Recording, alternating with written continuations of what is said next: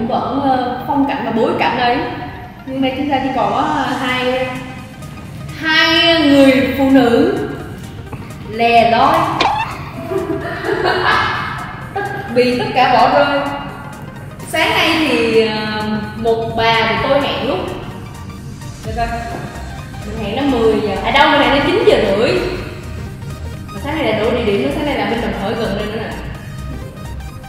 Mình hẹn nó 9 giờ rưỡi xong rồi 8 rưỡi mình gọi bốn cuộc cũng không không ai được nữa rồi rồi. Xong xong rồi tới hẹn chị Hương tập 11 giờ thì chị Hương nhắn lại là ôi chị quên chị vừa đi chùa từ Bình Dương về.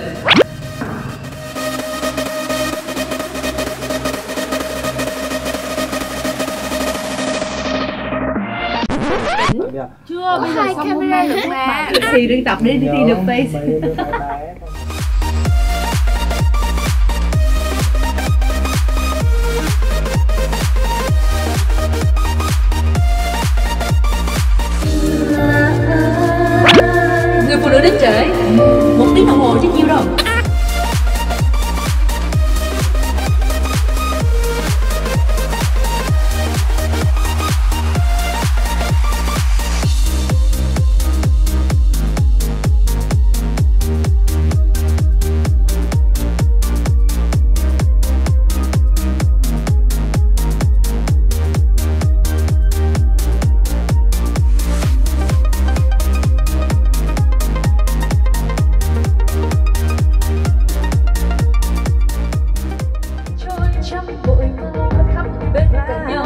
Shut the door.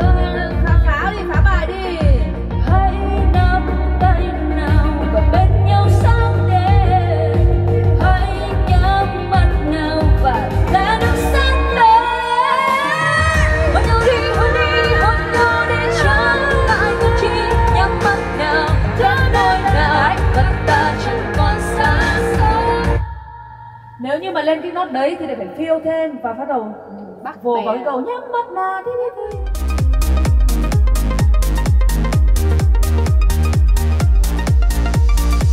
Các bạn tất cả các đoạn nhân là chỉ có thể giãn ra chứ không vào ngay liền trước coda đúng không? Trước coda là mình sẽ trước trước điệp khúc. Vâng. Này nó đang hơi bị cuốn. thì tại cái này em hát một mình vui vui thì sao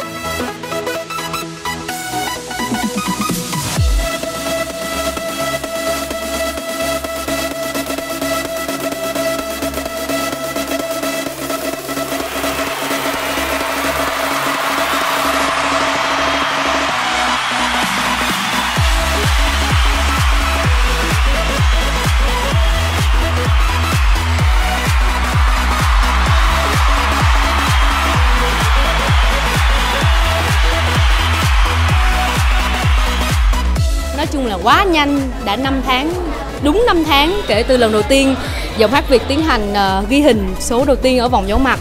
Và đến bây giờ thực sự là giống như là trong một cái chớp mắt thôi mà đã trải qua biết bao nhiêu thăng trầm biết bao nhiêu sự kiện biết bao nhiêu giây phút bên nhau gian khổ có vất vả khó hạnh phúc niềm vui cũng có hết.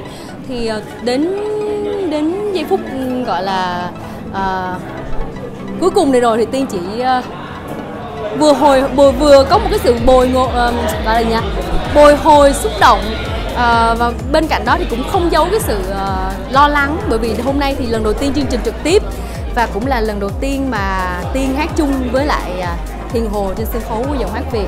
Một bài hát rất là mới nữa chứ cho nên nó rất là rung. Uh, nhưng mà tôi nghĩ rằng là bất kỳ người nghệ sĩ nào khi mà bước lên sân khấu rồi thì cái hào quang ánh đèn sân khấu nó đúng, đúng nghĩa là thánh đường của một nghệ sĩ. Thì cả hai chị em sẽ cố gắng hết sức để tỏa sáng trong đêm nay. Và nói nói nói nhỏ luôn là bản thân hai chị em không đặt nặng quá vấn đề uh, vai trò là có đạt quán quân hay không thật sự luôn. Uh, chưa hết mình thôi. Tới đâu hay tới đó. Vào top năm là vui lắm rồi.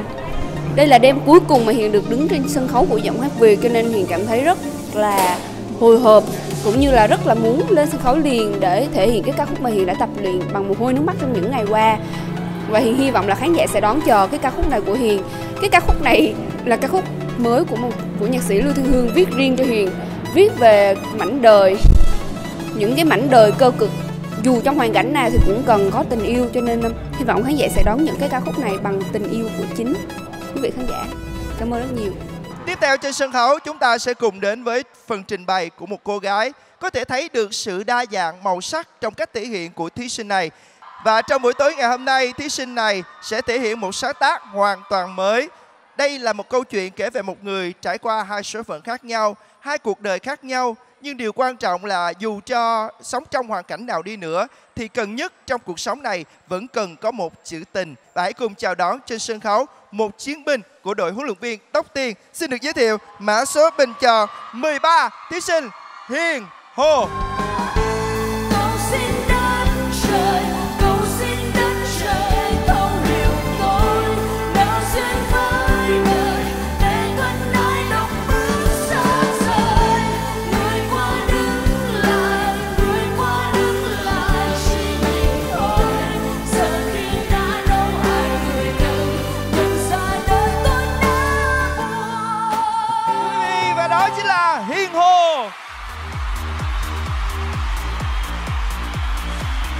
Giờ thì Hiền cảm thấy vô cùng thoải mái vì đã thể hiện một ca khúc rất là khó. Và tiếp theo là một ca khúc cũng lời không hề dễ rất là khó dễ lộn. Cho nên Hiền phải uh, cố gắng để thuộc lời và nhập tâm với cái ca khúc này. Và hy vọng khán giả sẽ đón chờ.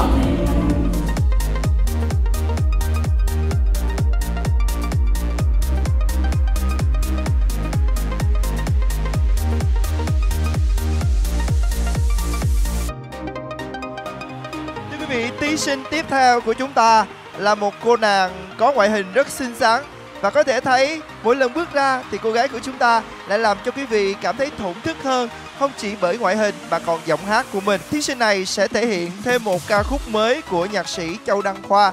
Ca khúc này kể về câu chuyện của một nụ hôn.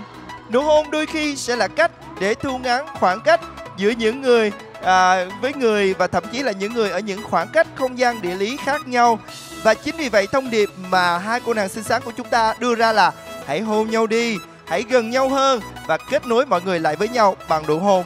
Mời quý vị sẽ cùng đến với ca khúc Hôn, một sáng tác của nhạc sĩ Châu Đăng Khoa và hãy cùng chào đón trên sân khấu thí sinh Hiền Hồ mã số bình chọn 13 cùng với huấn luyện viên Tóc Tiền.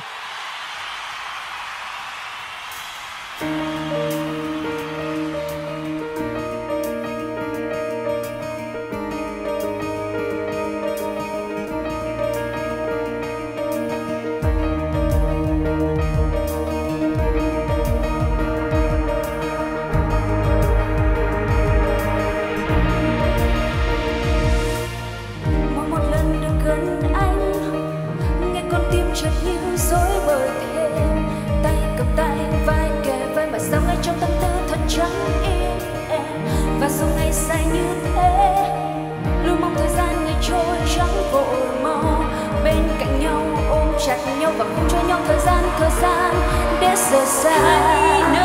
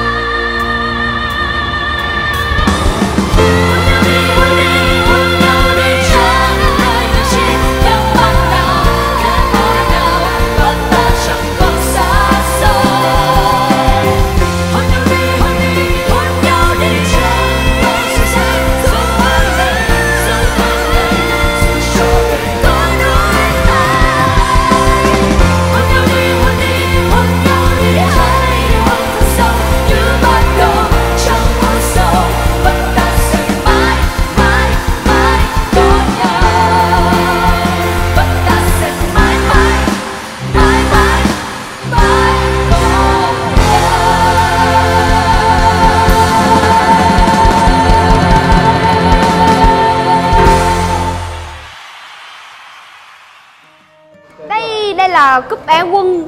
Và bây giờ hiền cảm thấy à, vừa kết thúc một chặng đường thì hiền cảm thấy vô cùng là thứ nhất là hiền xin gửi lời cảm ơn tới chị tiên. Và thứ hai là hiền xin cảm ơn tới tất cả quý vị đã ủng hộ và bình chọn cho hiền để hiền có cơ hội để bước vào đêm chung kết và giành được giải áo quân ngày hôm nay. Và kết thúc một chặng đường thì hiền cảm thấy rất là vui đầy ý nghĩa vô cùng xúc động nhiều bài học. Và đặc biệt là hiền nhận ra bản thân mình ở đâu ở đâu là điểm yếu và điểm mạnh của mình để có thể phát huy trên cái con đường nghệ thuật của mình và hiền xin cảm ơn rất nhiều. Để mà gọi là lịch sử lặp lại đó em. Cái đây hai năm chị cũng được hạng tư đợt này em cũng vậy nhưng mà không sao. À, nói đùa vậy thôi chứ tiên nghĩ rằng là à, hai năm vừa qua đủ để mọi người hiểu rằng là à, danh hiệu chỉ là một phần của sự nghiệp còn quan trọng còn lại vẫn là chính bản thân hiền hồ cũng như là chính bản thân tóc tiên phải quyết định sự nghiệp của mình như thế nào. Và chị tin và cũng như là hy vọng rằng là hiền hồ sẽ tiếp tục và quyết định sự nghiệp của mình. Xem là em sẽ đi lên, đi tới, đi lui hay đi lùi hay cái gì đó. Cũng miễn sao không được, miễn sao là ừ, một câu nhắn nhủ cuối cùng đó là em, lúc nào chỉ cần em có đạo đức tốt và làm nghề có tâm thì chị sẽ sẵn sàng giúp đỡ.